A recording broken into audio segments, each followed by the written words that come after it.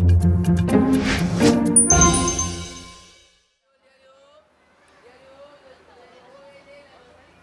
Miles de guatemaltecos madrugaron este miércoles santo para viajar a sus lugares de origen debido al descanso de Semana Santa. Las centrales de transferencia del sur, oriente y occidente fueron abarrotadas por los usuarios, quienes en algunos casos ingresaban a sus hijos por las ventanas para apartar un lugar. Los transportistas, valiéndose de la necesidad de los usuarios de viajar para visitar a sus familiares, incrementaron el precio del pasaje, por lo que se presentaron las denuncias correspondientes. En algunos casos hubo incremento de hasta un 100% en el precio del pasaje. La Dirección General de Transportes desde el pasado lunes comenzó con un plan para evitar accidentes en las diferentes rutas de ingreso a la ciudad, por lo que ha impuesto 98 multas, entre ellas por sobrecarga de pasajeros, aumento a la tarifa del pasaje, entre otros. Por cuatro días el transporte pesado no podrá circular en el territorio nacional, con excepción de aquellos que transporten productos perecederos o combustibles, según disposición del Ministerio de Comunicaciones.